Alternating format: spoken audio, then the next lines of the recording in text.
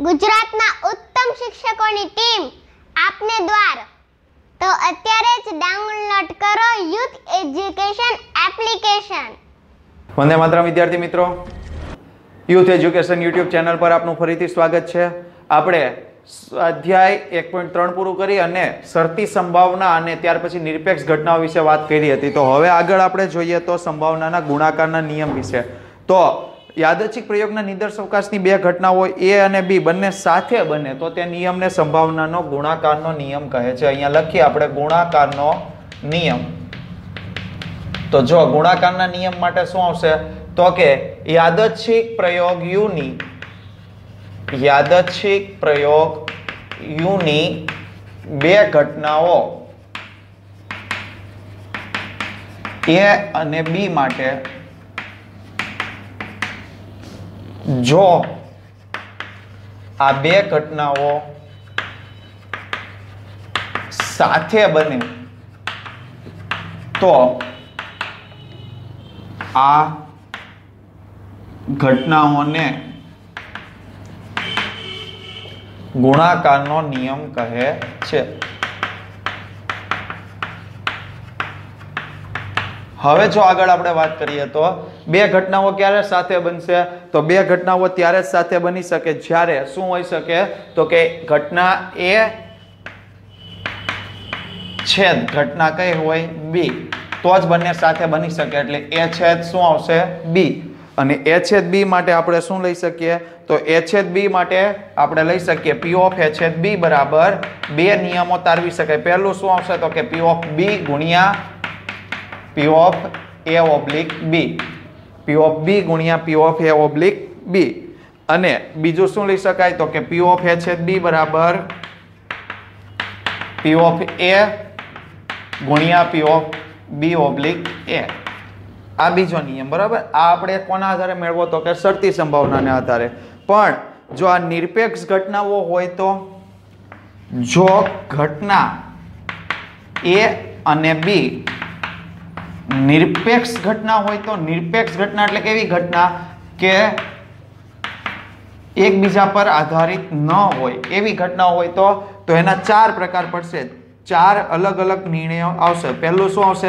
તો કે એ છેદ બી બરાબર શું આવશે? તો કે પી ઓફ એ ગુણ્યા પી ઓફ બી ડાયરેક્ટ જ કરી શકાય. પી ઓફ એની સંભાવના ગુણ્યા પી ઓફ બીની સંભાવના. હવે, આમાંથી દાખલા તરીકે બંનેની પૂરક ઘટનાની આપણે સંભાવના લેવાની થઈ. બંનેની શું ઘટના? એવી પૂરક ઘટના. તો કે પી ઓફ એ છેદ બી એ ડેશ છેદ બી ડેશ. બરાબર પણ શું લઈ શકાય? તો કે પી ઓફ એ ડેશ ગુણ્યા પી ઓફ બી ડેશ. આ શું થઈ ગઈ પૂરક ઘટનાની?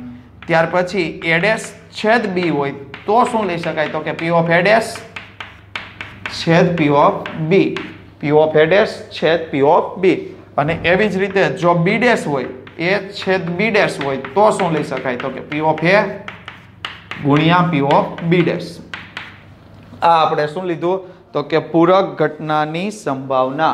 આ આપણે શું સોરી પૂરક ઘટનાના ગુણાક છેદ ઘટનાની સંભાવના. આ આપણા માટે કુલ કેટલા પરિણામ થઈ ગયા? તો કે ચાર પરિણામ. હવે આગળ જો આપણે વાત કરીએ તો આપણે શું જોવાનું છે? તો કે પસંદગીના પ્રકાર. અને જે આપણે આગળ જોઈ ગયા છીએ એ જ મુજબના છે.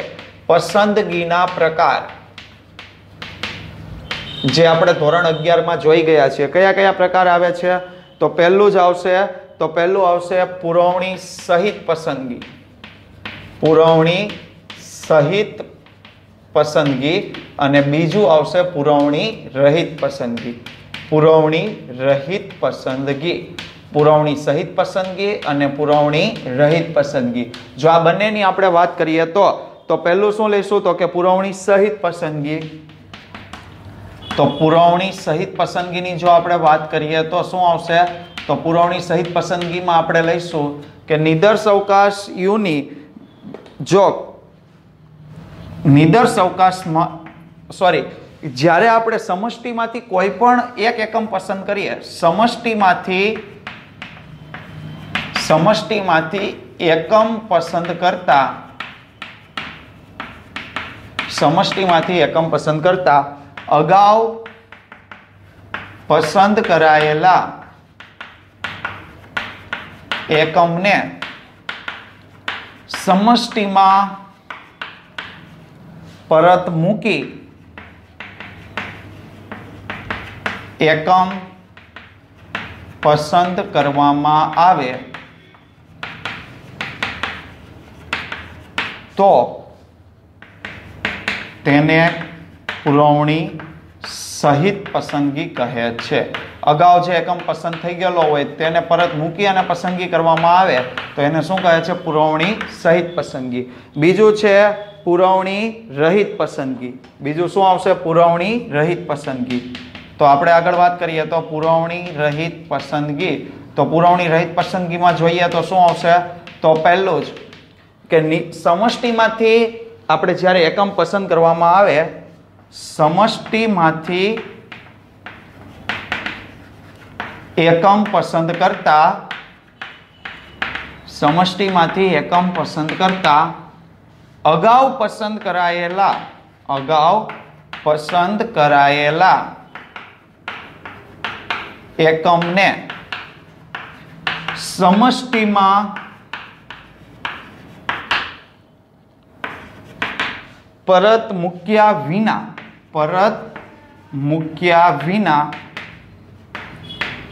એકમની પસંદગી કરવામાં આવે. એકમની પસંદગી કરવામાં આવે. તો તેને પુરવણી રહિત પસંદગી કહે છે. એટલે આપણે જે નિદર્શના પ્રકાર જોયા હતા ને, પુરવણી સહિત નિદર્શ ને પુરવણી રહિત નિદર્શ, એ જ રીતે સમષ્ટિમાંથી નિદર્શ પસંદ કરતા જો અગાઉ જે એકમ લેવાઈ ગયો હોય, એને પરત મૂકીને એકમ લેવામાં આવે તો પુરવણી સહિત, અને મૂક્યા વગર લેવામાં આવે તો પુરવણી રહિત. તો વિદ્યાર્થી મિત્રો, આપણે અહીંયા ગુણાકારનો નિયમ અને પસંદગીના પ્રકાર વિશેની માહિતી મેળવી. ફરી મળીએ નવા વીડિયો ભાગમાં. ત્યારે આગળ આપણે સ્વાધ્યાયના દાખલાઓ વિશેની માહિતી જોઈશું. Thank you